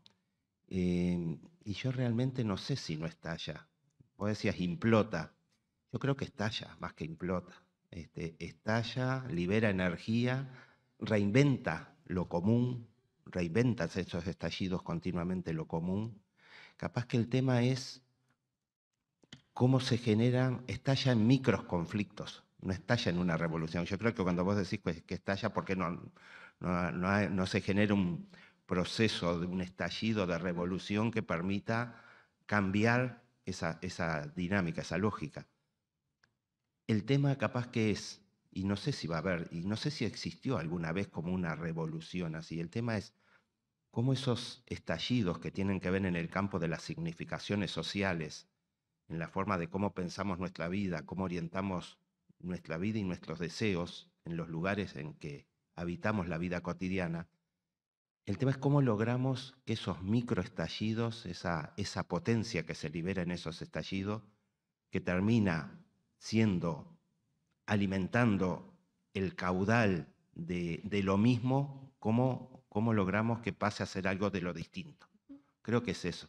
Pero ya no esperando un gran estallido, sino trabajando en cómo, no sé, cómo se, casi como un juego de, de cómo, cómo se pueden canalizar distintas estas energías que en definitiva son, sí, son, son cuerpos puestos en juego, pero son sobre todo significaciones sociales que están construidas y que se vienen reproduciendo socialmente en un espacio que es este, es un espacio de diálogo discursivo, pero en la acción cotidiana. Por ahí, gracias. Bueno, vamos a, despedirnos hacia el almuerzo. ahora, solo una breve cuestión, que es que eh, queremos hacerles una cosita, un regalito a cada uno eh, por participar. Y esto parte de, eh, ya se los voy a ir dando mientras hacemos el cuento. Hoy Alicia, hoy Alicia contaba, ¿se puede abrir? Lo pueden abrir, es muy delicado, es delicado como, como es delicado. Como es lo delicado.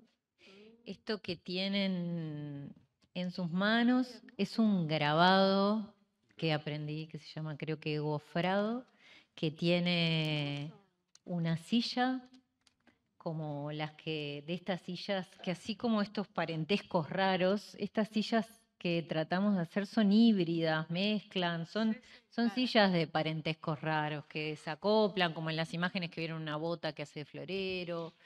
Em, las hizo el taller eh, La Puerta de Ciudad Vieja, que es una vieja compañera nuestra Claudia Ganso y su compañero, el ruso con un apellido italiano, Giovannoni, un ruso Giovannoni, otro parentesco raro.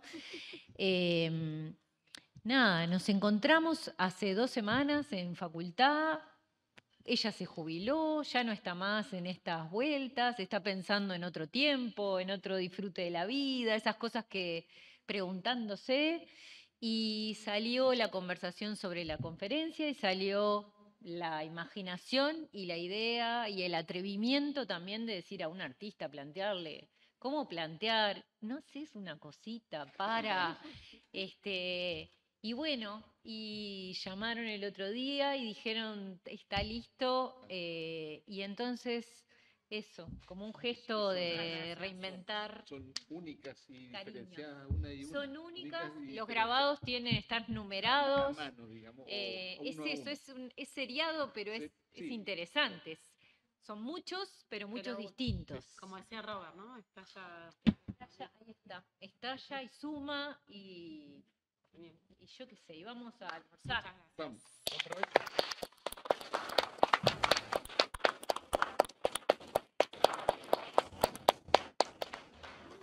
Informaciones breves. Eh, muchas gracias a la mesa y mm, entramos ahora en la fase de la conferencia de 15 a 17 horas con las propuestas de eh, actividades simultáneas y distintas. Van a estar funcionando eh, los grupos de trabajo, los talleres, las actividades artístico-creativas y la biblioteca humana. Esas actividades van a estar funcionando eh, algunas en, esta, mm, este piso de la Intendencia, fundamentalmente en la sala dorada y la sala roja, y eh, las otras actividades van a estar funcionando en el edificio de la Facultad de Psicología, eh, en distintos salones. Quienes participen de esas actividades cuando vayan a la Facultad de Psicología van a encontrar las compañeras que estamos con estas camisetas tan bellas y los van a estar orientando hacia qué lugar dirigirse. Y luego de esas actividades simultáneas, nos reencontramos aquí, en esta misma sala, a las 18 horas, para participar de la conferencia a cargo de Raquel Gutiérrez sobre tramas antipatriarcales por lo común, ritmos, escalas y horizontes. Y luego de esta primera conferencia central, van a haber sorpresas, no se las pierdan. Y por último, usemos los vasos que nos están dando, que también contribuimos a una cuestión de, de, cuidar el ambiente. Muchas gracias y nos estamos reencontrando todos en esta sala común a las 18 horas.